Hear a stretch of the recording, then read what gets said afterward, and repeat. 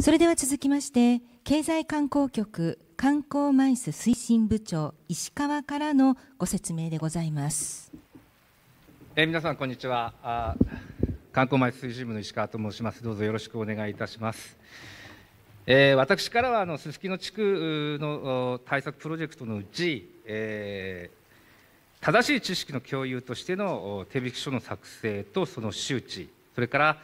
え接待を伴う飲食店への支援としての店舗消毒費用等の支援について、えご説明を申し上げます。あのお手元にもあのスライドと同じ、え資料をお配りしてございます。どちらか見やすい方でご参照してください。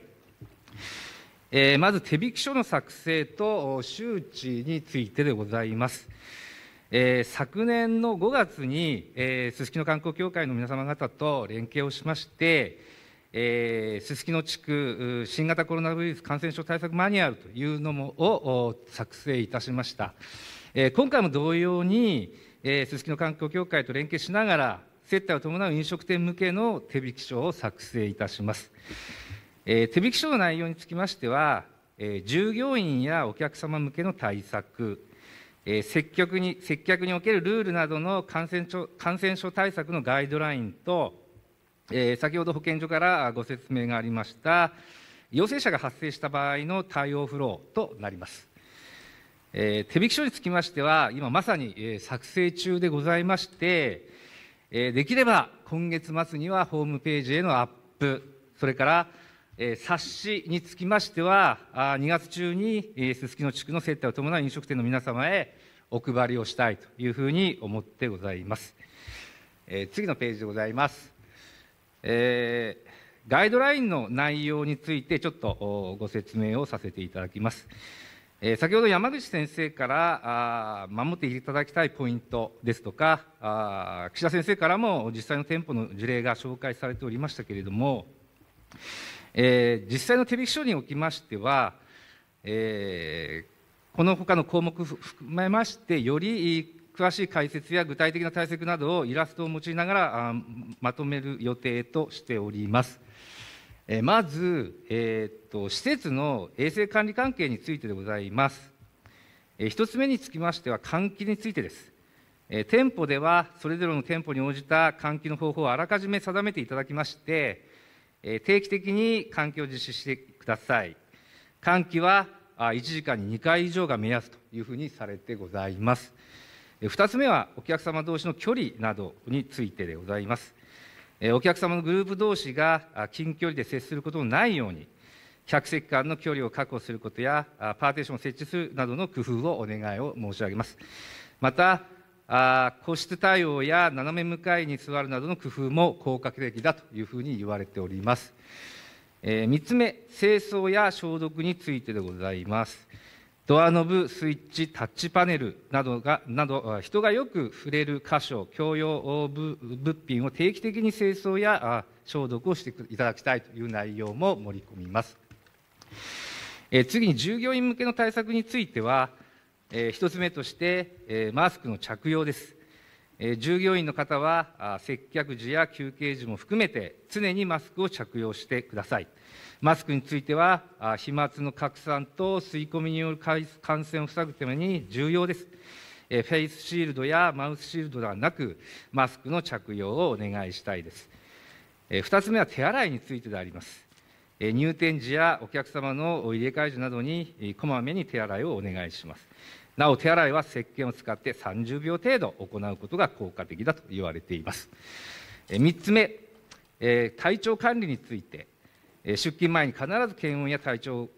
確認を行って店舗責任者の方に報告をしていただきたいまた店舗責任者は毎日従業員の健康状況を状態を確認して記録することこれが重要になります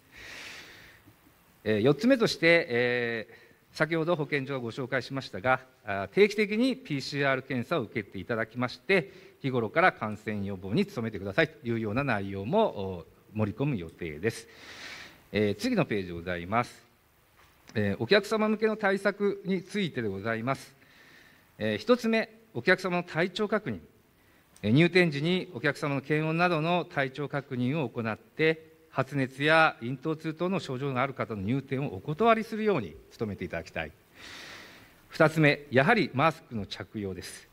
お客様にはマスクの着用お客様にはマスクを着用して大声での会話は控えていただくよう呼びかけていただきたい。なおえ直接の声がけが難しい場合には張り紙などを設置することなどで呼びかけも呼びかけていただきたいというふうに考えています。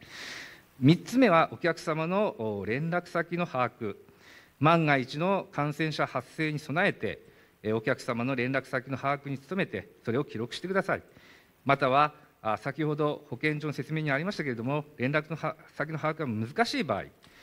北海道コロナ通信システムの利用を徹底するなどの工夫をお願いしたいということも盛り込みます。次に接客時における対策です。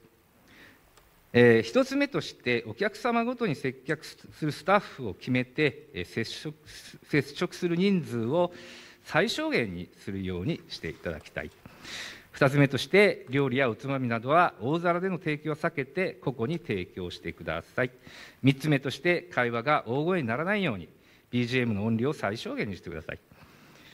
えー、というような内容を盛り込む予定でございます。でガイドラインにはこの他もございますけれども本日は基本的な事項の一部をご紹介させていただきました、えー、ガイドラインの詳細を盛り込んだ手引き書について、えー、できるだけ早く皆様方にお届けできるように、えー、準備を進めてまいります。よろしくお願いを申し上げます、え次のページでございます。えー、店舗消毒費用等の支援について、えー、ご説明をいたします、えー、札幌市では万が一感染者が発生した店舗に対しまして、え店舗の消毒にかかる費用などについて最大40万円の支援金を給付する予定でございます。対象となる店舗の条件にはですねここにも記載の通りでございますけれどもまずすすきの地区の接待を伴う飲食店で